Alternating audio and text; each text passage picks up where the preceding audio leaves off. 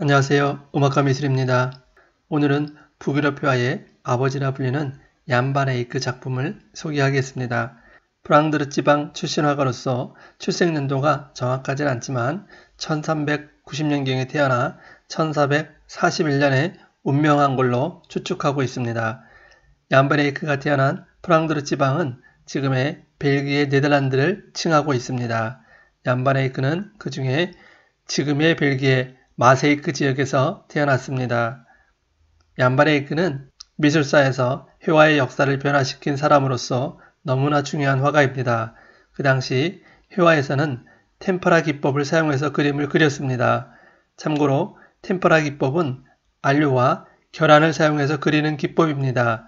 템퍼라 기법은 마른 시간이 빨라서 세부적인 묘사를 하기가 힘들었습니다. 그래서 얀바레이크는 이 단점을 해결하고자 기름을 사용하는 유화 기법을 개발하고 발전시켰습니다. 오늘은 유화를 사용한 그의 대표 작품 중에 아르놀피니 부부의 초상화 그림을 소개하겠습니다. 이 그림은 학자들마다 다양한 해석을 하고 있어서 대중적으로 가장 많이 알려진 내용을 소개하겠습니다. 이 그림을 보면 크게 두 가지에 놀라게 되는데 첫 번째는 그림 속의 모든 인물과 사물들을 세부적으로 묘사하여 보는 이로 하여금 감탄을 자아냅니다. 두 번째는 화면 뒤에 볼록 거울을 배치하여 작품을 감상하는 사람들이 그림 속으로 들어가 있는 착각이 들도록 의도적으로 화면을 구성했다는 점입니다. 그림은 1434년에 그려졌고 이탈리아 화가 다빈치, 미켈렌젤로보다 활동했던 시기가 앞선 화가였습니다. 이 그림의 내용을 보면 조반니 아르놀피니 부부의 결혼식을 그린 장면으로 추정하고 있습니다. 남성은 왼손으로 여성의 오른손을 잡고 오른손으로 약속을 이행하겠다고 선서하는 장면입니다. 남성은 크고 챙이 넓은 모자를 쓰고 있고 가죽으로 만든 외투를 입고 있습니다. 이 복장은 그 당시 부유한 사람들만 입었던 의상이었습니다. 여성은 흰 베일을 머리에 쓰고 녹색의 옷을 입고 있습니다.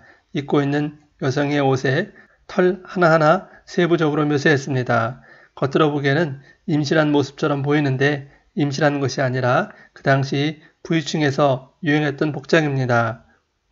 두 사람 아래에는 강아지가 있는데 강아지 털 하나하나까지 세부적으로 묘사하여 마치 살아있는 느낌을 주고 있습니다. 강아지는 충성과 신뢰를 상징하는 것으로서 부부간의 신뢰를 의미하고 있습니다.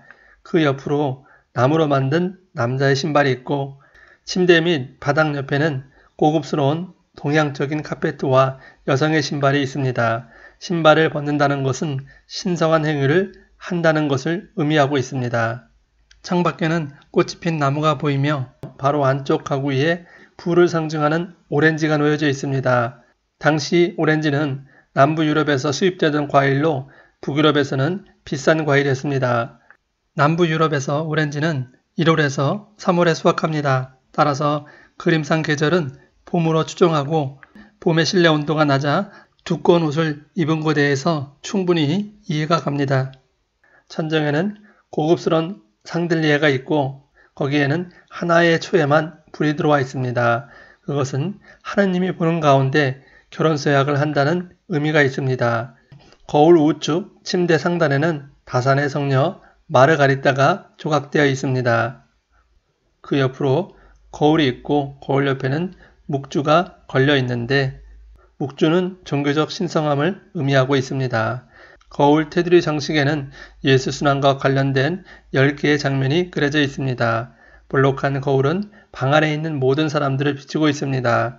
결혼식 하는 남녀, 그 뒤로 파란색 입은 사람은 화가의 조수로 추정하고 붉은색을 입은 사람은 화가 얀바네이크로 추정하고 있습니다. 거울 위로는 1434년 얀반 에이크가 이곳에 있었다라고 적혀 있습니다. 이것으로 얀반 에이크는 이 장소에 있었다는 것을 증명하고 있습니다. 오늘은 얀반 에이크의 대표 작품 아르놀피니 부부의 초상이란 작품을 만나봤습니다. 오늘은 여기까지 하고 다음 시간에 오겠습니다.